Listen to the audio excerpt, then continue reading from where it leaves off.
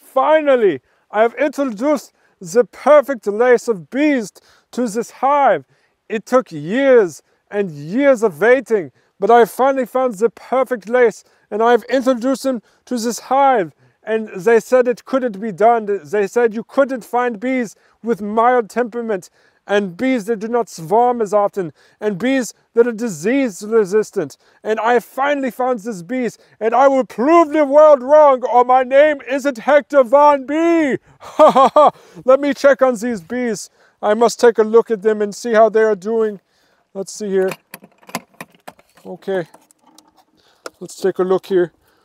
Oh, bees. Oh, bees. Oh, bees. Oh, no! No, no!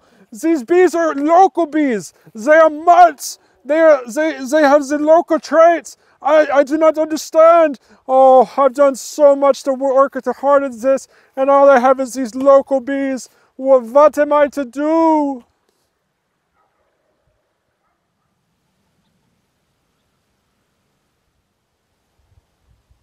Good afternoon, beekeepers and bee enthusiasts. How are you doing? It's another great day at the farm and we're hanging out. It's a really nice day out right now. It's about mid 50s. The sun is shining, so it feels really good outside. Of course, we got some bee activity coming in and out of this hive right now, and that's always a really good sign. It shows that your the health of your colony is doing pretty good during the winter time. Anytime you have warm days in like, you know, January, February, it's always good to check out your hives. You should see some activity coming. When I say warm activity, I generally mean over 50 degrees. Um, and then if you see some activity going, that's a, that's a good sign. Um, and so these bees are doing good. We're doing good. We hope you're doing good. And of course, we have an excellent topic for you today. And of course, today we're talking about don't waste your time chasing honeybee races. Now, I see it all the time out there. People are always saying, hey, you know, I, I need that perfect honeybee race. I need either some Carniolan or I need some Italians or I need some Russian honeybees. They, need, they want the perfect honeybee. And a lot of people will even have honeybees shipped from like Europe all the way over to the USA just so they can have a certain type of honeybee in their apiary. And today we're going to be talking about why that's kind of a, a waste of time. And also, as you have a bee or group of colony of bees that stays in an apiary, over time they will become increasingly local. They will assimilate to the local area of the honeybees. So it's going to be a great topic. We're really excited to talk about it. And without further ado, let's break right into it.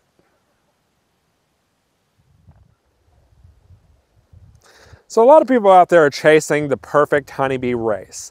And what I mean by that is they are going after certain types of traits for their honeybees that they want in their apiary. And these traits could be something like maybe they, they're more mild of a temperament, maybe they don't swarm as often, maybe they're more disease resistant, or maybe they produce more honey. There's all kinds of traits that people are chasing, and they will order bees from Europe or something like that in order to get the perfect honeybee queen in their apiary so they can get the perfect traits and they get super excited about it and they really think it is as easy as that. But as Hector Von Bee found out earlier, it is not as easy as that and honeybees inside of your apiary become increasingly local. So what do I mean by that? Well, let's start off by talking about how honeybees function whenever they produce new queens. Now, of course, honeybee queens lay eggs in the, in the hive, but what they will do, honeybee queens, when they are born, they will go and mate with honeybee drones. Now, if you don't know what a drone is, it is a male honeybee. And a male honeybee doesn't do anything except mate with queens. It doesn't work in the hive, it doesn't collect honey, it doesn't do anything. Its whole purpose is to mate with honeybee queens. So the drone will go out and it will go to the drone congregation area and look for queens. And a new queen, when born, will go and mate with queens. Now the queen will mate with anywhere from 10 to 20 drones from all over the area. She doesn't just say, well, I just want this hive that I want to mate with. No, she's mating with drones from all over the area. And it will usually be anywhere from 10 to 20 drones. Usually on average, it's about 15. But she will do that and she will come back to the hive. And of course, when she comes back, she is carrying genetics from all over the local area. And that is how honeybee queens mate. And that is where they get their genes from. They get them from, air, from honeybee colonies all over the area. So new honeybee queens, when they're born, they are pretty local in terms of the eggs that they're laying. Now, let's talk about that old honeybee queen that you just introduced to your hive and that she's got the perfect traits that you like. Well, we all know every spring, most honeybee colonies prefer to swarm and they will try to swarm.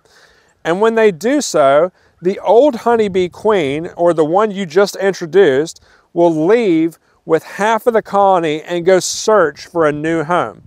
So they will leave with the, with the portion of the colony, it's anywhere from a third to half of the colony. They will go and search with a new, for a new home and there goes your nice, beautiful queen you just ordered. She just went out the window and now she's going somewhere else. And guess what? The new queen you have is the one that just mated with all those drones. And now that new queen has all the genes from the local area.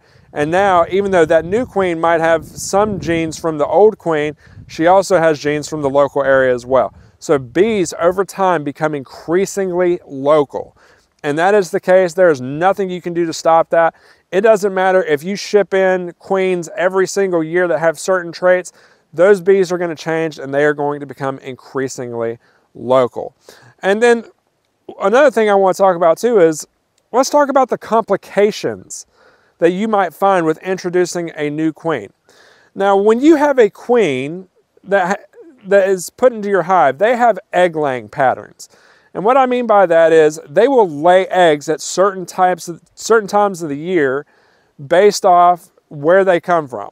Now, honeybees in warmer climates will generally lay eggs sooner in the year because it warms up sooner, and they will stop laying earlier in, in the, as, the, as the year progresses.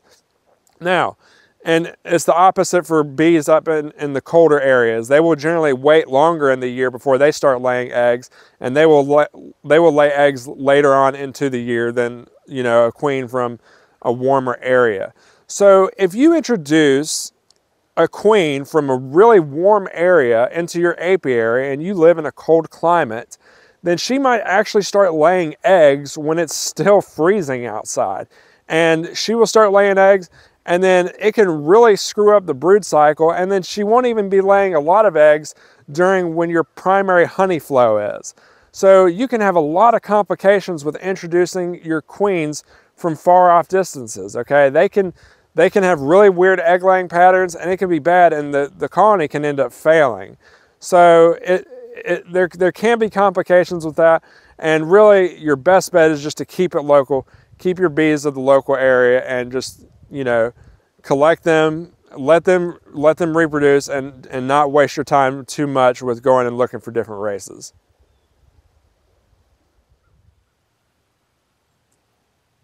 So honeybees will become increasingly local. And really, they become more or less like mutts.